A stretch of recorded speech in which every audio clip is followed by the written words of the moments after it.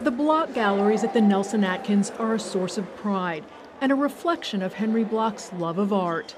Van Gogh, Renoir, Matisse.